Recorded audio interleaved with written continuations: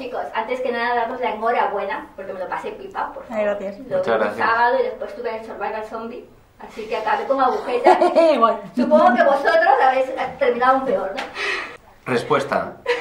Eh, no acabamos con tus agujetas, pero casi. Sí, no, la verdad es que fue un rodaje muy intenso. Era muy intenso. Eh, además que nos apetecía mucho rodar algo como de aventuras, acción y nos dejábamos la piel en cada toma. Y es verdad que, eh, cuidado, no estamos trabajando en la mina, pero es verdad que estábamos con trajes de época que a veces según qué tipo de acciones eran un poco más complicadas y demás.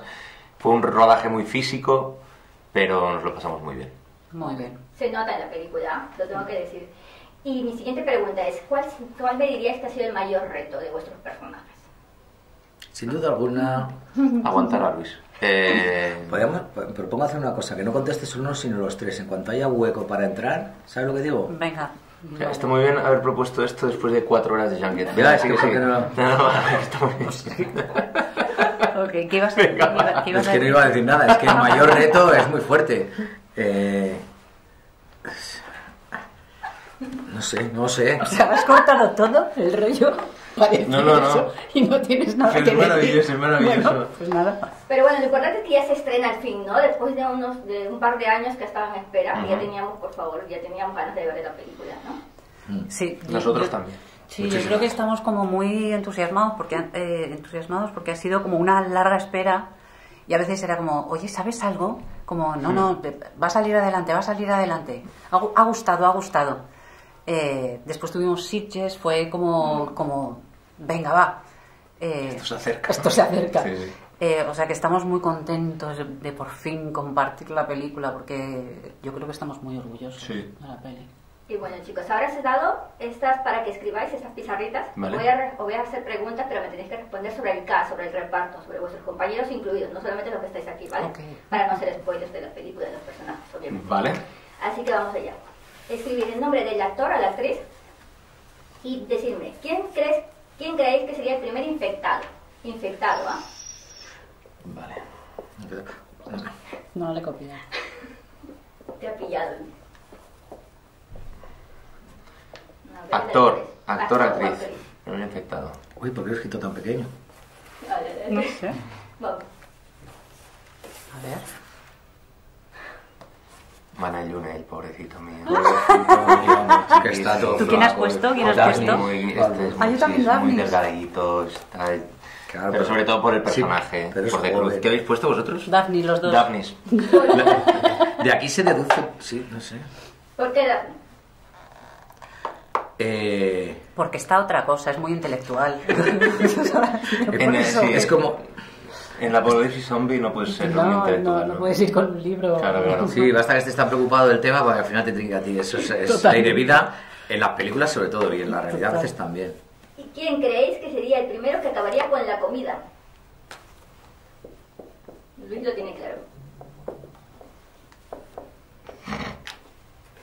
Oye, he hecho un marco. Uy, está haciendo un marco y todo, espérate. ¿Estás haciendo el marco? ¿Tú le has dado la vuelta? Todavía no. Muy bien. decís Torrico. ¿Por qué? ¿Los tres? ¿En serio? ¿Torrico? ¿To- ¿En serio? ¿Tú Torrico. también?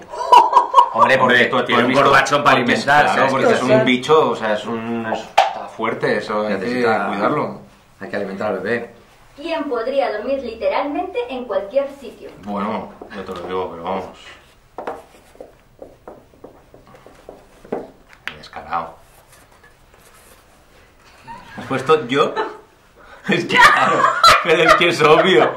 O sea, yo tengo fotos de las siestas de me gallego, dijo hombre, también. claro. Sí, me voy quedando este, una capacidad de dormir de toda la vida. Y ahora la he perdido un poco, ¿eh? Pero no hay nada que más me guste que una Te- siesta te ganó- rodaje en cualquier lado. Te ganaba ballesta, Hombre, ¿eh? que... sí. En cualquier sitio. Yo, o sea, ya he perdido... A ver, he sido mítico. Ahora he perdido cualidades. He sido pero, mítico. Pero he llegado a dormirme encima de una nevera de esas grandes de bar, al aire libre, subido encima de ella.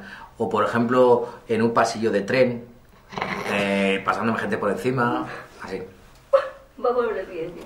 ¿Quién creéis que sería el experto en armas? En armas. En armas, pues, ¿se puede decir dos? Ostras, es que me sale... lo ideal es uno. Lo tengo. Mira, es Es más, que depende de qué tipo de armas. Ya. Voy a hacer una cosa todavía mejor.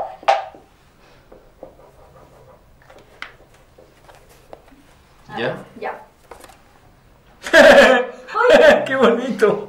¡Qué bonito!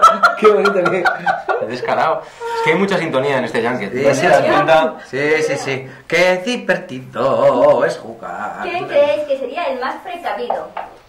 Uy, qué interesante, ¿eh? Eh, El más precavido. Ah, bueno. Mira, fíjate, sí. Ay, no sé. Ay, jo. Espérate. Precavido. A ver. Precavido, fíjate Estoy tú. dudando. Espérate. Para- que no cobarde, ¿eh? No, precavido, como, como de, bueno, vamos a pensar las cosas dos veces, ¿no? Como vamos a... Voy a hacer lo mismo que. Que, que... que. mm, que. Flechita. Flechita. Eh, esto va para mí. Flechita para ti. Pues todo Agnis, yo, mira lo que te digo. Jesús Carroza. Hostia, bien jugado. Yo tú. Sí, ¿eh? Precavido, como bueno, sí. mental, Ah, organizando. no, espera, vamos a ver cómo... Sí. Pues es que haréis un tándem los tres. A ver, pero ¿cómo lo hacemos? No, pero espérate. tal, sí, sí. Esta, el precavido no lo tenemos tan claro. No, Igual porque no. la palabra, el adjetivo precavido no es fácil de definir. No. ¿Qué tenemos? Vale, vamos para la siguiente. ¿A quién creéis que se comerían primero?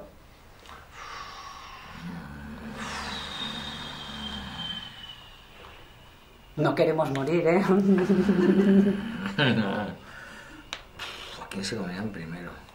Mira, te lo pongo. Yo lo tengo claro. Es que no me, no me acuerdo de su nombre, pero Yo te está lo digo. clarísimo. Mira, te lo pongo. A ver, enséñamelo.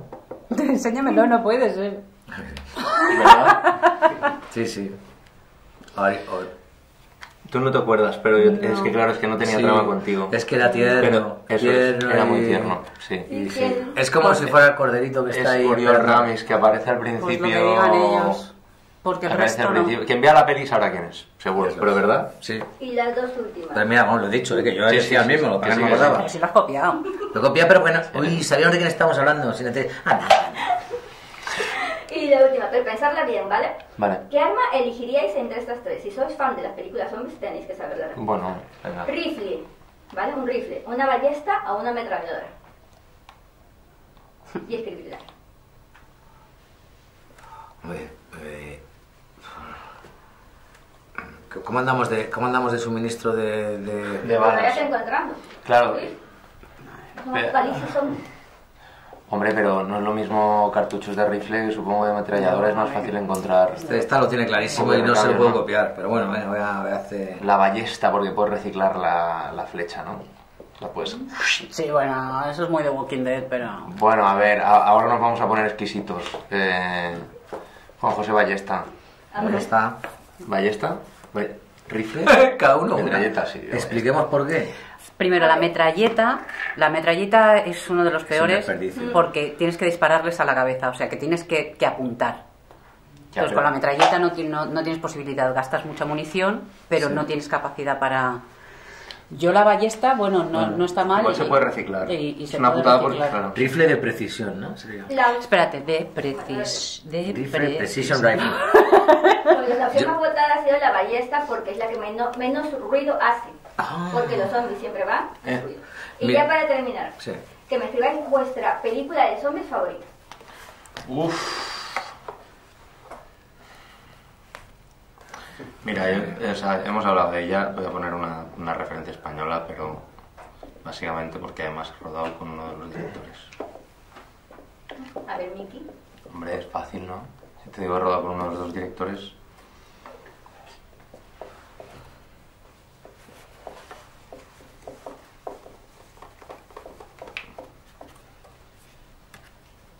Vale. No, conocemos todos.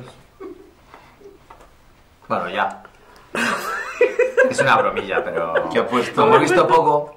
Y hemos hablado de ella hoy en cierto momento. Muy Thriller bien, de Michael muy bien, Jackson. muy bien, es muy una bien. película, es corta, pero es una película. Me impactó mucho de pequeño y. raz- y Es bueno, una peli, es una peli. es una peli. corta, corta no es. Bueno, a Dura ver. un minutico. Sí, sí, sí. Habría que verlo otra vez. Vale. El amanecer de los muertos, de George A. No, Romero. pero no, no hacía falta escribir el guion de la película. Eh, Shaun of the Dead, que aquí se llamó Zombies Party, y Dawn of the Dead, que es la versión de, de la segunda parte de George A. Romero, del centro comercial de Zack Snyder.